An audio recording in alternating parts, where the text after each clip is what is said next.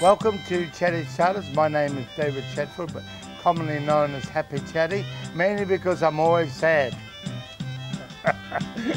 Not really, always happy. I've been at sea uh, full time since I was 14. I only went to school to eat someone else's lunch. Around here, it's all uh, some of the photos. There's some of the sharks I used to catch. I was a shark fisherman and I catch them. All those sharks up there.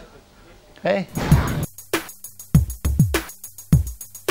Over here is when I was a professional boxer. Okay.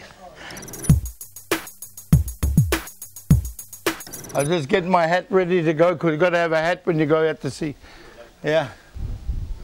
Even this dog is a fishing dog.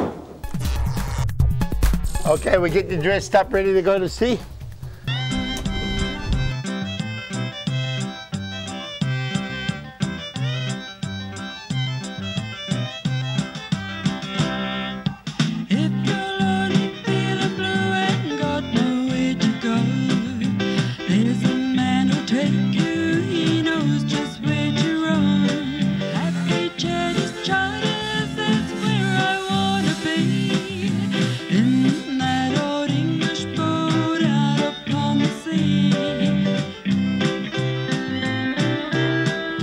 Want to be a fisherman, you must love the sea.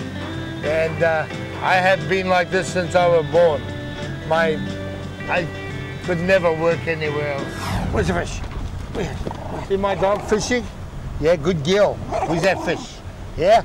You get a big fish, eh? Get a fish. Yeah, he likes fishing. Here, get a fish.